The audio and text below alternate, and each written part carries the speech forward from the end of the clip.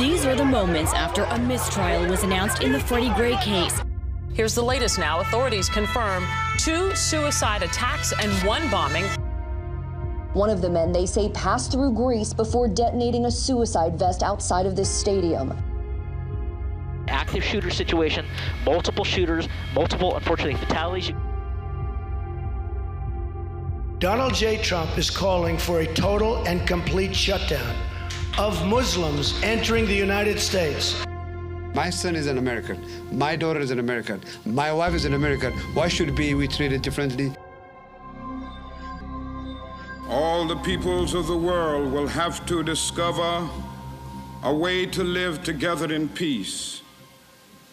If this is to be achieved, man must evolve for all human conflict a method which rejects revenge, aggression, and retaliation. Daddy said it best. He said, Peace is not merely the absence of tension, but it is the presence of justice. One of the things we're doing at the King Center in, in the next two years is a global summit. And what that global summit will do is bring people who are invested in nonviolence together from around the world. Violence comes out of something. We've already started to meet with consulants from different nations to have conversations around how can we get our governments engaged in Dr. King's philosophy. Argentina has always had a foreign policy that's called a third way, because we've always thought, well, exactly what Reverend King was pointing out, that you have to look at a problem from a different perspective and sometimes offer some unorthodox solutions. I think of the march which Martin Luther King led from Selma to Montgomery 50 years ago. The dream continues to inspire us all. I have seen Dr. King's principles impact even the places that most people would never expect, which are the halls of a church. A lot of denominations kind of try to split hairs, and they're not that ecumenical. And that's really where the problem begins.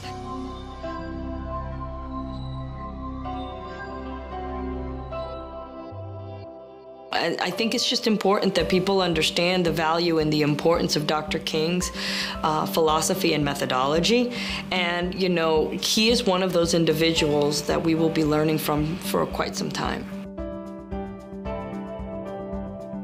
We've, we've suffered too much. And I think the greatest thing that a person can have is integrity.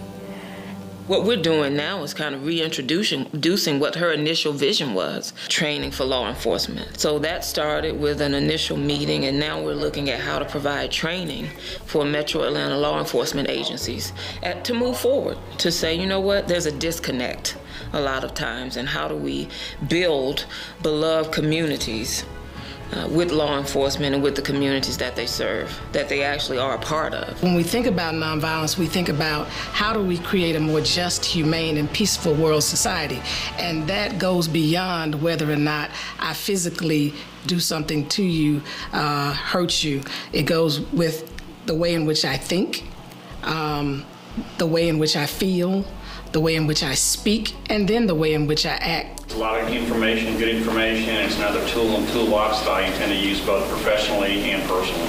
Nonviolence 365 helps to not resolve conflict, but reconcile so that we have a point of reconciliation and we can say we didn't just resolve that issue, but moving forward, we have a new way of communicating with each other.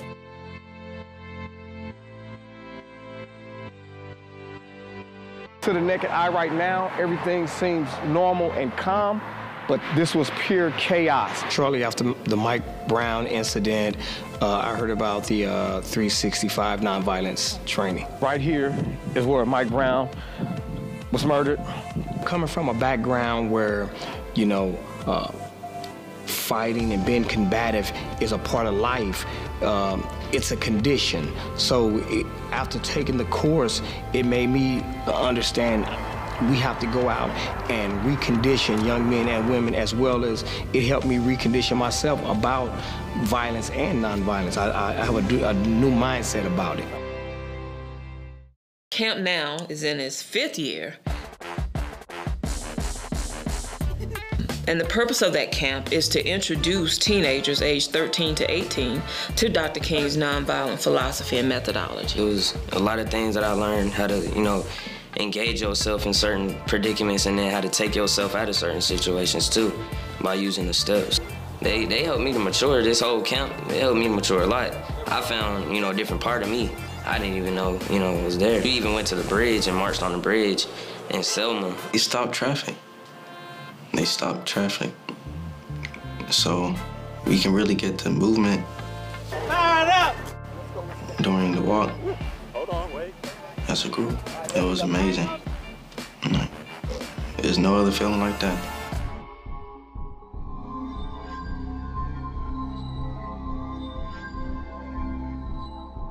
When we visited the King Center, we were really just blown away with what they were doing in the Atlanta community.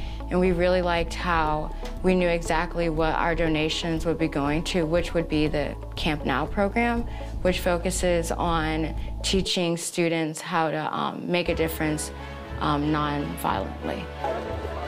Just having kids learn that there's so many ways to give back. Obviously, not everyone's going to be able to have like a $2,000 grant like we did, but being able to figure out all the different ways that you can start as you're young. If we want to change anything in our society, beginning with our thought processes and our thinking, it's going to start with our young people. When the young people were talking about what it was like being in that 365 program, I thought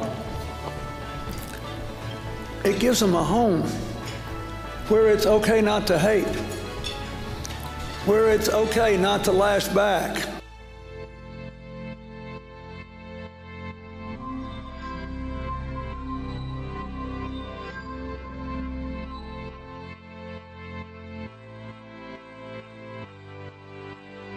I said, wow, what would it be like if the King Center really created like an incubator where young people could come and create nonviolent games?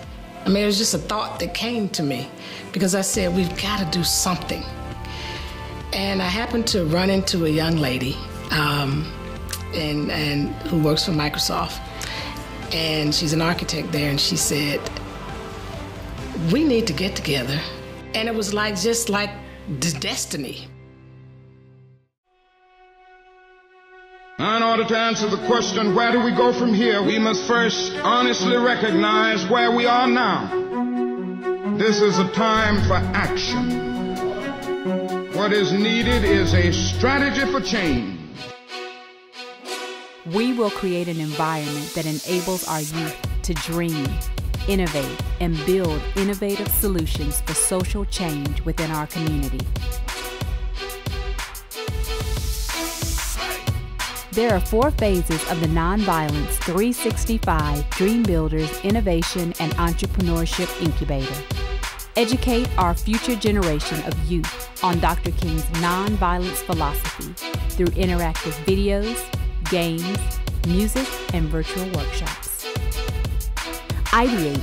As the students are educated on Dr. King's nonviolence philosophy, they will participate in ideation labs to design game concepts, mobile applications, and new business ideas aimed at social change innovations.